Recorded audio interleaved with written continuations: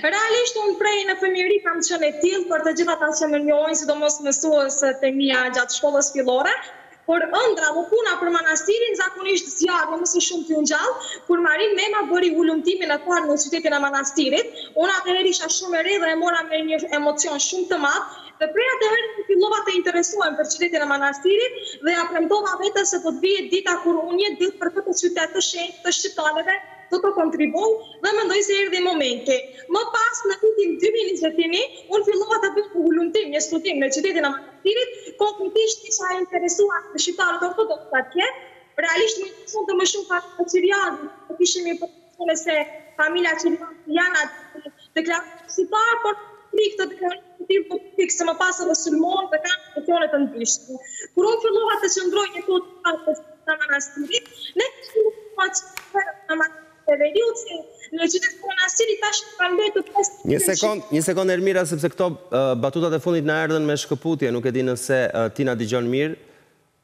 Sepse ishte një ishte një ishte një tregim i bërë me energji dhe na munguan disa nga copëzat e këtij tregimit. Edhe një herë të lutem, pjesën e fundit.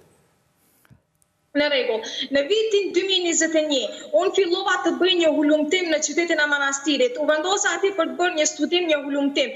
Konkretisht mua më interesonte familja Qirjazi, Ku janë ato, çfarë po bëjnë, a janë ende aty, pasi që ne kishim informacion se ato janë aty, por kanë frikë të deklarohen shqiptarë, edhe pse ato e ndjejnë veten shqiptarë, në momentin që fillova të qëndroja atje, më interesonte realisht edhe për shqiptarët pesë përqindëshin, se ne kishim informacion se janë pesë përqind atje, Fillova të interesohem edhe për ato.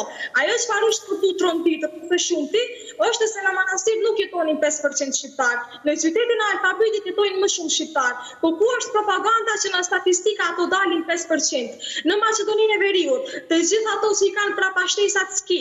Për shembull, unë jam Emira Selimi. Nëse do e kisha mbiemrin Emira Selimovska, unë në statistikat e popullatës nuk dal shqiptare, pavarësisht që deklarohem e tillë. Unë dal maqedone, edhe shqiptarët po po pastaj, të gjithë numri më i madh, një numër shumë i madh i shqiptarëve, i kanë prapashtesat ski.